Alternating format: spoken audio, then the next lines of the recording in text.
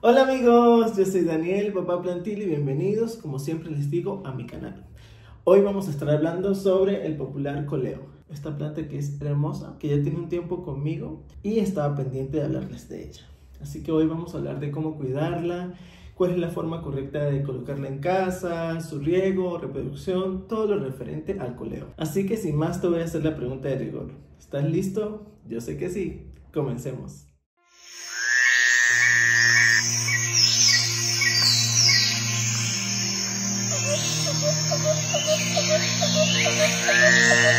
Bueno chicos, quiero comenzar diciéndoles que el coleo es una planta que tiene mucha diversidad de colores.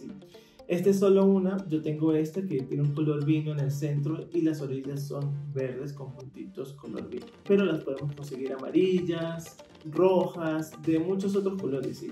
Y realmente es una planta muy linda. Vamos a hablar de cómo cuidarla y de cómo mantenerla dentro de casa. ¿Cómo la cuido yo? Bueno, este fue un ejemplo que me regalaron hace un tiempo muy pequeño y miren cómo ha crecido. Ha crecido bastante. Pero pues sí he tenido algunos tropiezos con ella porque nunca había tenido un coleo. Y bueno, he ido aprendiendo cómo cuidarla y creo que, que ya descubrí cuáles son sus secretos. Para comenzar, el coleo no es una planta del, de sol directo, ¿sí? No es una planta de tenerla en exterior.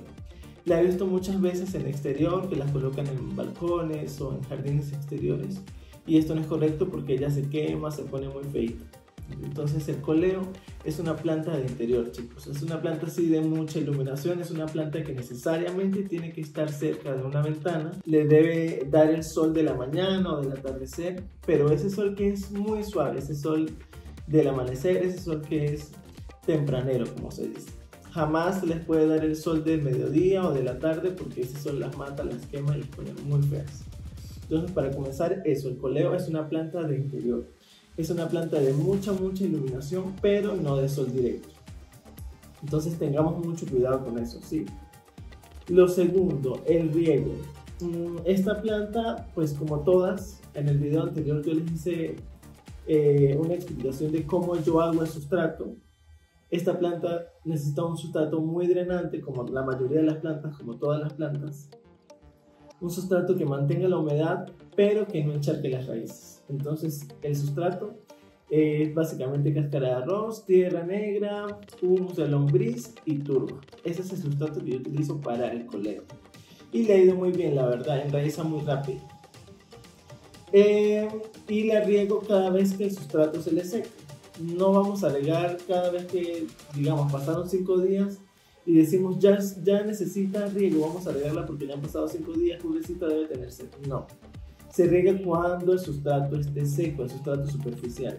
No es que lo vamos a dejar secar por completo porque sus hojas comienzan a caerse. Eh, vamos a esperar que el sustrato superficial se seque y ese es el momento de regar.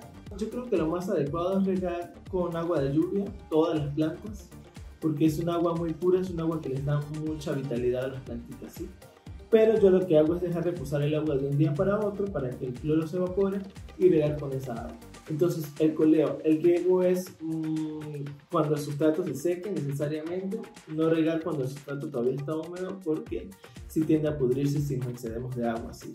Ese es el segundo punto. El tercer punto, ¿cuál es la reproducción de esta planta? Esta planta se reproduce por esquejes, se reproduce muy fácil en agua, podemos cortar esquejes y reproducirlos en agua. Ella enraiza muy rápido y de allí lo pasamos a sustrato.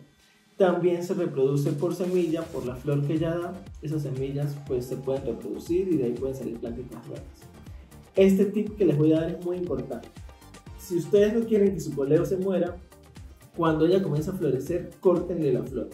¿Por qué? Porque si nosotros le dejamos la flor, la planta va a creer que ya su ciclo terminó y que va a morir, que necesita morir. Entonces cada vez que le sale la flor, esta planta muere.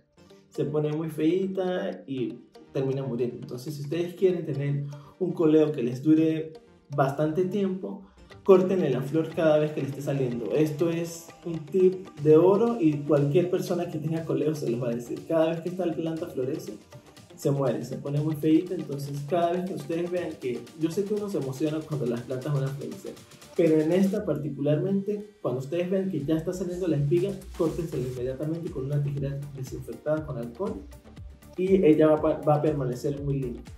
Algo importante, cuando ella no tiene suficiente luz, sus hojas no van a tener un color tan intenso como esta. No sé si logran ver estas hojas que están por acá. Y eso es porque ella no tiene suficiente luz. Yo la tenía en un lugar que no le daba suficientemente luz y los colores no eran tan intensos. Yo decía, pero ¿será que se está muriendo? ¿Será que le está pasando algo? Y no, realmente es porque le faltaba luz. A ellas les gusta muchísimo la luz indirecta y a medida que ellas tengan más luz, sus colores van a ser mucho más intensos. Miren, la diferencia de esta a esta es abismal. Esta que está acá es, está como paliducha, ¿sí? Entonces no, no está tan bonita. No se murió, pero no, no estaba tan bonita. La coloqué cerca, realmente al lado de la ventana y miren cómo comenzó a darme hojas con colores muy intensos y de hecho comenzó a crecer mucho más. Esa es otra cosa. Esta planta es de crecimiento rápido, chicos.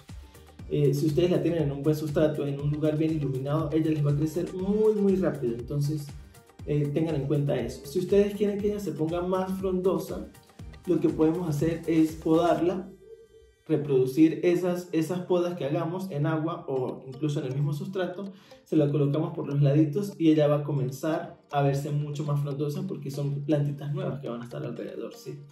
Como ven, esta en la parte de abajo sacó una ramita como un hijito, este, ah, se me cayó una hojita, una hojita vieja. Este, que este yo fácilmente lo puedo eh, cortar y reproducirlo, ¿sí? pero no quiero porque me gusta que se vea así como, como conejitos. Pero si ustedes se dan cuenta, acá no se los puedo mostrar, sí. Si ustedes se dan cuenta, ella tiene como hijitos, le van saliendo como hijitos en el tronco a medida que ella va creciendo, ¿sí? Acá yo lo tengo como unos tutores, unos pequeños tutores para que ella se mantenga como más paradita, ¿sí?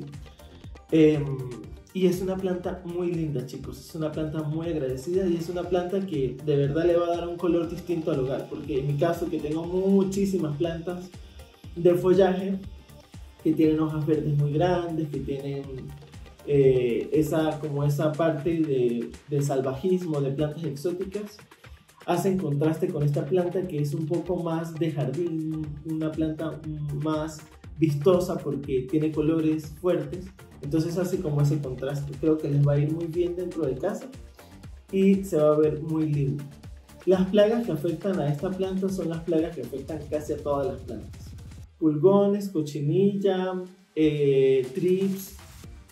Tenemos que tener mucho cuidado. Esta planta no se pulveriza, chicos. Eviten pulverizarla porque eh, puede traer plagas como la cochinilla o los pulgones. Esta planta al tener ese color verde particular puede ser mm, muy dulce para las cochinillas, ¿sí?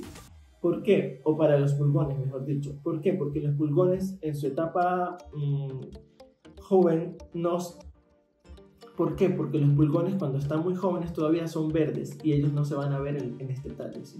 Entonces, si ustedes ven que tiene alguna hoja de caída, que no se ve tan bonita, revísenla porque probablemente tenga pulgones o alguna otra plaga. Yo generalmente reviso mis plantas y sin embargo en estos días descubrí que uno de mis caladiums tenía pulgones y bueno, se los eliminé, pero pues uno siempre queda como con eso en la mente de que se le pudo pegar a otras plantas. Entonces por eh, precaución, cuando consigan ustedes una planta con algún tipo de plaga, y le hagan tratamiento, háganle tratamiento también a las que están alrededor, así no tengan para evitar que pues vaya a surgir plaga en alguna otra planta. Entonces se le puede convertir en una plaga de todo su jardín y no queremos eso, ¿verdad? Entonces estas son las plagas que les caen normalmente a estas plantas, sin embargo ella eh, no es tan propensa como todas las plantas puede que pase, pero ella no es una planta a la que nosotros eh, tengamos que tener especial cuidado en eso. Evitemos pulverizar y ya. Obvio, si ustedes viven en lugares que son muy eh, calurosos, ya saben que el riego va a ser mucho más seguido y que tiene que haber una humedad considerable para que la planta eh, esté bien, ¿sí? Por demás, esta planta va a estar súper tranquila, no les va a dar dolores de cabeza, va a crecer eh, muy linda y les va a dar un contraste fabuloso. Miren qué lindo mi coleo. Este fue un esqueje que me regaló una amiga hace tiempo.